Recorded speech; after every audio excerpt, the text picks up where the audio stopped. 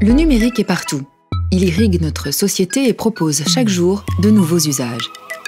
La santé bénéficie déjà de cette évolution, mais pour en saisir toutes les opportunités, notre système de santé doit aujourd'hui accélérer son virage numérique. En fait, c'est un peu comme repenser une ville et réorganiser sa gouvernance pour la propulser vers l'avenir. Avant tout, il faut s'appuyer sur des fondations solides. C'est le rôle des pouvoirs publics de les consolider, mais aussi les moderniser, de simplifier leurs règles en garantissant leur éthique, leur sécurité et leur cohérence, indispensables au bon développement de la cité. Se dessine alors la nouvelle trajectoire, soumise aux avis de tous, qui s'ajuste en permanence. Et puis, il faut redonner du sens à l'organisation de la ville, la connecter aux nouvelles attentes des professionnels et des citoyens.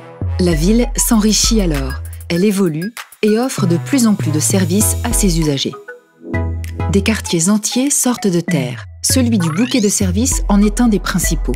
Ici, éditeurs de logiciels et start-up de la e-santé développent leur activité et libèrent leur créativité pour proposer à tous les professionnels de santé d'accéder à de nouveaux services leur permettant d'échanger avec fluidité, de se coordonner et d'exercer en toute confiance. Ils permettent par exemple le maintien à domicile des personnes en début de dépendance. Pour que la cité soit harmonieuse, il lui faut aussi ses maisons individuelles, familiales et modernes. Dans ce quartier vivant et stimulant, chaque citoyen dispose de son propre espace numérique de santé.